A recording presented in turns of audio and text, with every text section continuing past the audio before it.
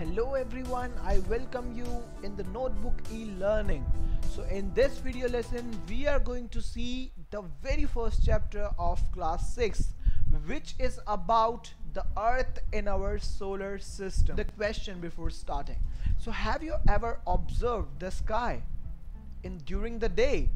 What did you observe? Did you observe that the sun shines brightly and when it's evening it descends numerous dots of light that illuminate the night sky.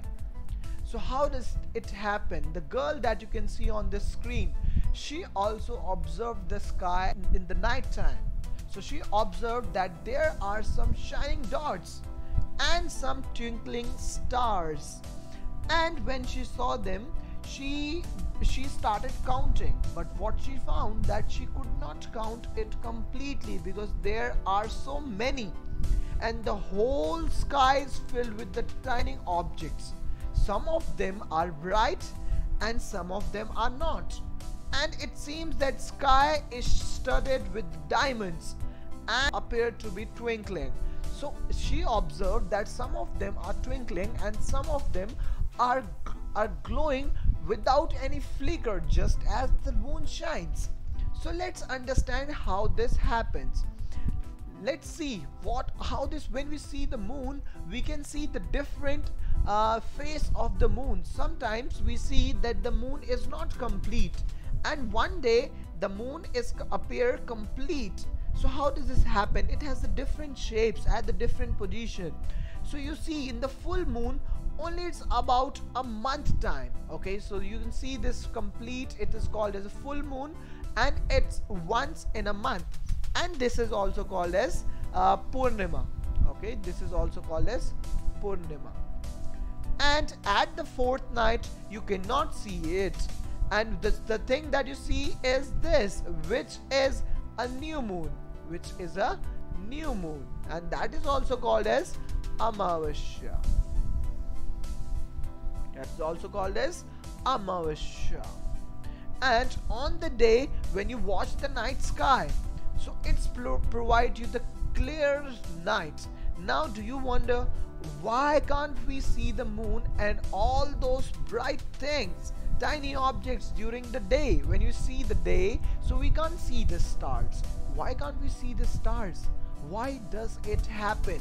It happened because the bright light of the sun which make them invisible okay which make the, the light of the stars and other celestial bodies invisible okay? So due to this bright light of the sun we can't see the stars. Now what are these celestial bodies? You can see this is our solar system. This is complete solar system okay? In this solar system we have sun and we have moon as well. You can see moon here the moon here and there are some different objects which are shining in the night sky. They all are called as celestial bodies. And you know some celestial bodies are very big and hot. They are made up of gas. They all celestial bodies are made up of gas and they are you know they have their own heat. These some of the stars we have the celestial bodies like stars they are called as stars and sun is also one of the star. And they have their own heat we can say that they all the all celestial most of the celestial body which are called as stars they have their own heat and light which emit the large amount of light. And these celestial bodies are also called as stars. These celestial bodies are also called as stars. So can we say that sun is also a star okay? So why don't we feel the heat of these countless stars? Why only sun? Why don't we feel the other stars as well? Let's see let's understand this. So have you ever seen the aeroplane flying? Okay so what do you notice? When the aeroplane flies you cannot you notice that it's so small because it is flying at the great height which make it very small. The same thing that we see uh, in night when we see the stars so it is so far from us which make them so small.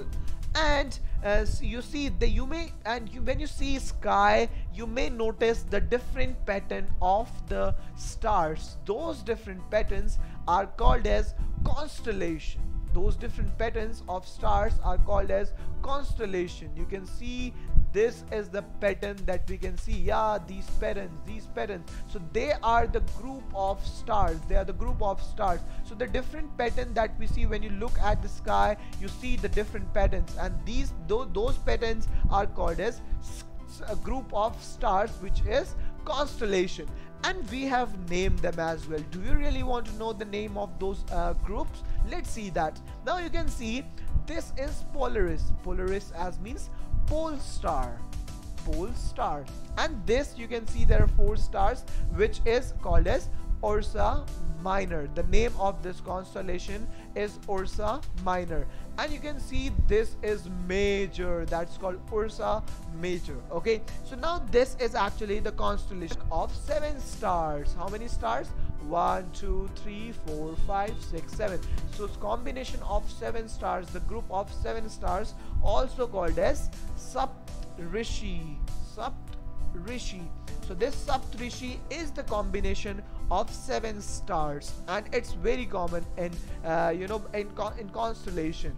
And after that you know you can see in the ancient times you know when when we talk about ancient time when we did not have uh, you know navigations when we did, when we did not have google maps when nobody is there to tell us which way that we have to go how did people find uh, their way. How did people find their way? Let's understand this.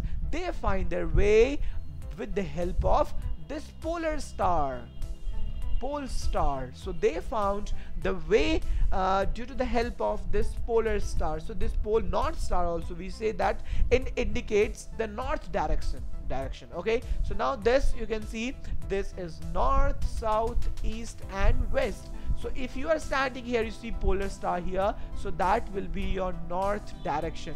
And if you want to go to south you need to go opposite of that direction. And if you want to go to east so you have to go in this direction. So with the help of north star people found their way. People found their way to get to their place so this is with the help of these uh, you know people uh, it was easy for people to understand uh, the way out of there okay? So now let's understand the celestial bodies. You know they do not have their own heat. Some of the celestial bodies we can say there were some celestial bodies which were called as stars. The stars has their own heat. But when we talk about some other celestial bodies uh, does uh, do they have uh, their own they do they have their own heat and light no, some of the celestial bodies do not have their uh, own heat and light. And what do we say to that?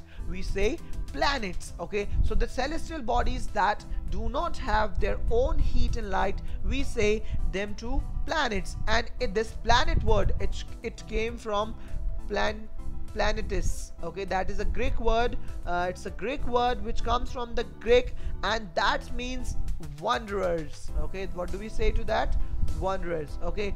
Uh, wanderers. The earth is the earth is on which we live in the planet okay? The earth that we in, in which we live. It get all its heats and light heat and light from which planet which which particular celestial body? That star.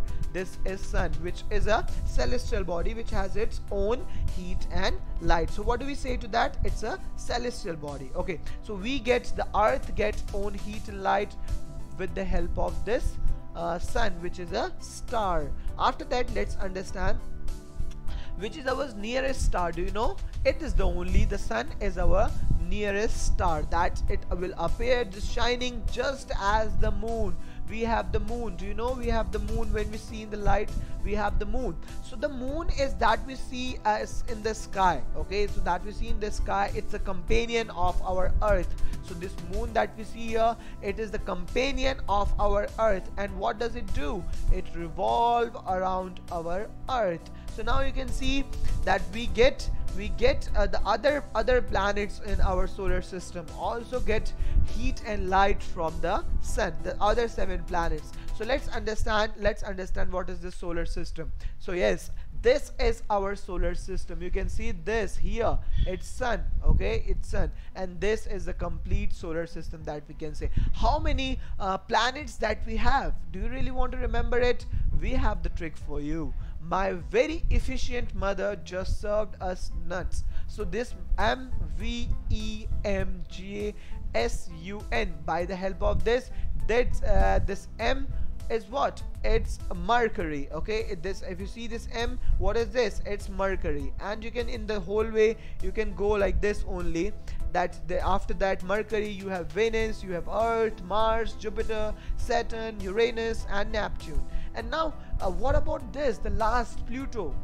It was discovered in the recent past. It will be called as dwarf planet okay? It will be called as dwarf planet okay? So after that you know you, you see that all the planets has their own path okay? On own path. And they are called as their paths are elongated and they are called as orbits. Now you can see this is the orbit of Uranus okay? This is the orbit of Uranus. In the same manner every planet has their own orbit. And which is the nearest planet to the earth? That's mercury. That's mercury you can see. That's mercury okay? To the sorry to the sun it's mercury okay? So now when you say it takes how many days? Do you know? 88 days to complete one round in its orbit. And in on which is the uh, duo, uh, which is you you can say there is a planet which is called as earth twin. Earth twin. And that is venus okay? Venus is the planet which is called as earth twin and that is similar to the earth. Now you can see after that we talk about earth okay? Let's talk about earth. So this earth okay? So it is the nearest planet which has the uh, which is actually we survive life in nearest planet to the sun. And it is we can say it's also the fifth largest fifth largest planet okay? Fifth largest planet uh, you know in the solar system. And do you know what's the shape shape of this uh, earth? That's geoid. What is this geoid? Uh, flatter from the poles and like this. This is the geoid shape okay? So the shape of the earth is geoid after that. Let's understand. Geoid means it's uh, it's earth-like shape. So you say that it's uh, it's it's the earth-like shape that is called geoid and you know this planet also has uh, this quality that it can support life this planet can support life okay? So after that the earth is you know why it support life? Do have you ever heard uh, when have you ever uh, you know wondered that why this planet earth supports life? Because it's neither too hot and neither too cold which it has you know all the necessary elements that a life needs that uh, you know water air and it's very essential that's you know these water air is very essential for our survival and the life supporting gas which is is is what? It's oxygen okay that you breathe in okay? So because these reasons you can say earth is also the, the unique planet unique planet in our solar system. When you see the uh, outside or uh, the outer space so earth appears to be blue because it has you know two-thirds surface that is covered. You know it's when you see from the outer surface it appears blue. Why? Why it appears blue? Because the two-third of our earth is filled with water. So the, if it fills with water we say it's a blue planet. Okay what do we say? It's a blue planet. Now let's talk about moon.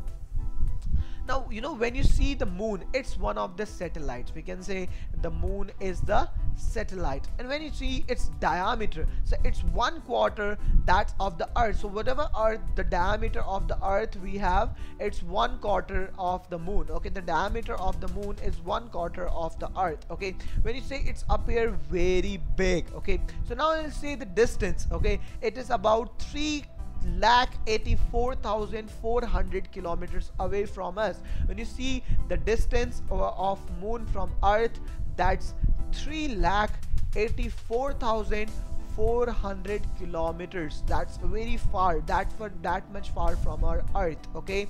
So now from the sun when we you can see here uh, this other planets okay? There are some other planets as well and you can see them uh, in between of them. In the other planet between of them we have asteroid belts. Okay you can see there it's moving and the meteors as well. Now do you know what are these asteroid and meteors? They are um, asteroids are actually the part of you can see this they are uh, breaking down the kind of stone like structure. And you can see there apart from the stars planets and satellites you know. Uh, there are tiny bodies we have okay very small bodies you know and they move around the sun. As the planets are moving around the sun the other other you know tiny bodies also move around the sun.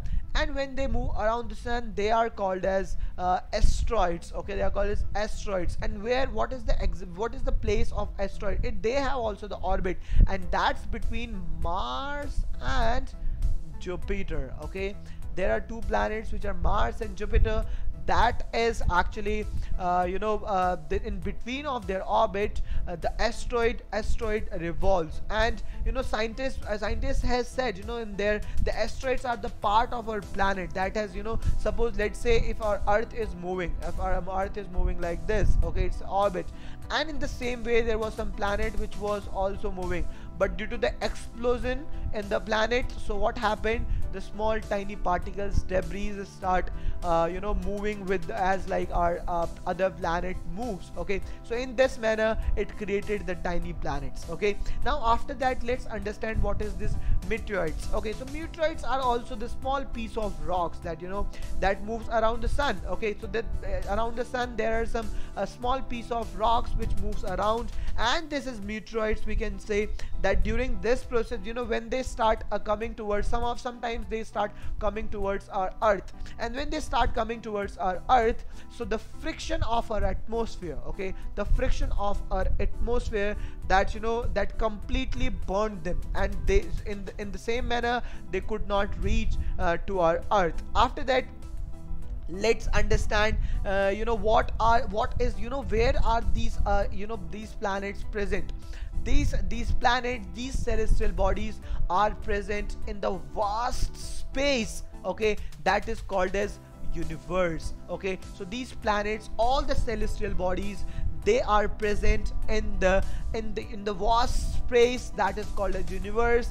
And in universe we have the many galaxies okay? We have many galaxies. And in these galaxies we have stars a lot of stars. So we can say it is a complete vast uh, you know a space which is called as universe okay?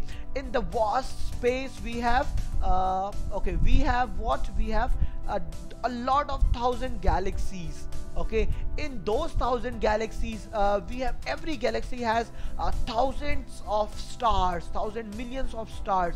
And all the may maybe some of the stars stars has their own planet and some of them are not. Okay some of them don't have the planets okay now you know uh, what happened in the ancient time when people look towards uh, this sky?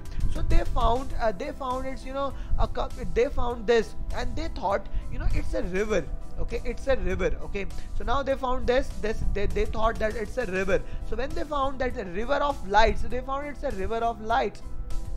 River of light. In the ancient time people thought that it's a river of light. In the same way this the galaxy that we have the name of this galaxy is uh, milky way. Milky way. And in the ancient time it is also called as akash ganga okay? This is also called as akash ganga. And galaxy is what? Galaxy is the huge huge system. It is a huge system of billions of stars. Okay? Um, it's a, it has a billions of stars clouds okay? Billions of stars clouds dust particle and this is how the galaxies are formed. And in these galaxies and there are millions of galaxies. I would not say hundred thousand millions galaxies okay? Thousand million galaxies okay? In that uh, where uh, the, where is the existence of those thousand million galaxies?